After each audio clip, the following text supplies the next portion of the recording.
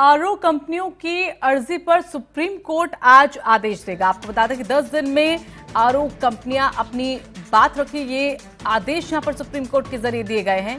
तो आरओ कंपनियों को लेकर नीति भी बनाए मंत्रालय, ये भी आदेश, और एनजीटी के आदेश में कोई कमी नहीं लगती है।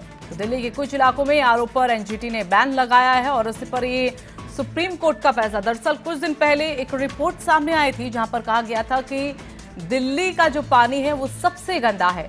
और इसी पर आरओ कंपनियों के ज़रिए ये अर्जी लगाई गई थी, जिस पर फैसला यहाँ पर दिया गया है सुप्रीम कोर्ट के ज़रिए और बताया गया है कि दिल्ली में कुछ इलाकों में आरओ पर जो एनजीटी ने बैन लगाया है, उस पर कुछ ढील यहाँ पर दी जाए। इसके साथ ही कोई कमी नहीं है, जो आरओ कंपनी को लेकर सवाल यहाँ पर लगातार उठाए जा रहे थे, उसमें एनजीटी के आदेश में कोई कमी नहीं लगती है, ये कह दिया है सुप्रीम कोर्ट के ज़रिए।